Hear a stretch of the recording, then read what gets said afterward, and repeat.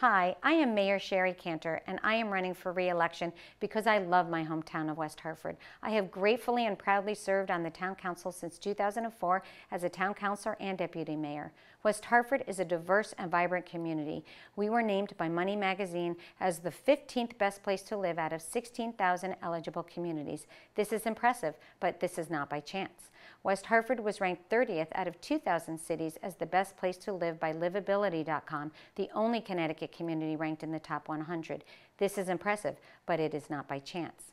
We were ranked by SafeWise as the 30th safest city in which to raise a child in the U.S. as an inner ring suburb. This is remarkable and not by chance. Our schools continually rank as some of the best in the country by U.S. News & World Report. We have a diverse school population with over 70 languages spoken at home, and our pure pupil spending is 128 out of 169 towns in Connecticut. But this too is not by chance.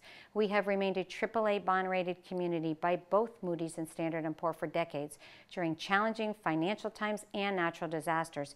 Very few municipalities hold this distinction, but this is also not by chance. There have been millions of dollars of investment and reinvestment throughout our community. Home values have remained strong and school population has remained stable. And you guessed it, this is also not by chance. These significant accomplishments are because of strong leadership and good governance. We have been fiscally responsible while investing in our community and quality of life.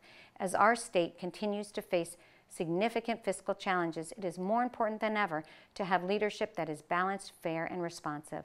I have always worked tirelessly on behalf of our community. I fight for West Hartford. Leadership and hard work, integrity, dignity, respect, compassion, and empathy are critical in challenging times. It has been an honor to serve you, and I am grateful for your trust. Please vote for me and the entire Democratic team on Tuesday, November 7th. Thank you so much.